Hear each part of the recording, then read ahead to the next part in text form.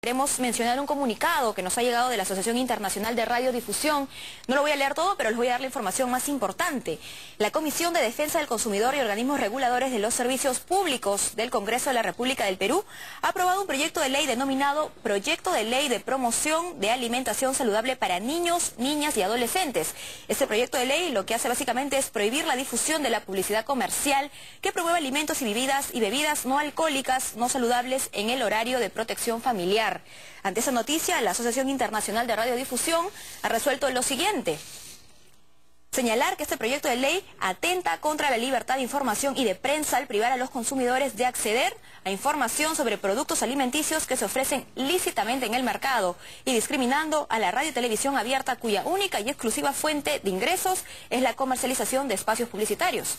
Se solicita al presidente de la Comisión de Defensa del Consumidor, y organismos reguladores de los servicios públicos del Congreso de la República del Perú revisar el proyecto previo a su presentación al Pleno del Congreso a efectos de eliminar la disposición contenida en el número 8.2 del artículo octavo. Bueno, esperamos que sea realmente revisado este proyecto de ley, lo tendremos con más información. Nosotros hacemos una pausa, pero volvemos.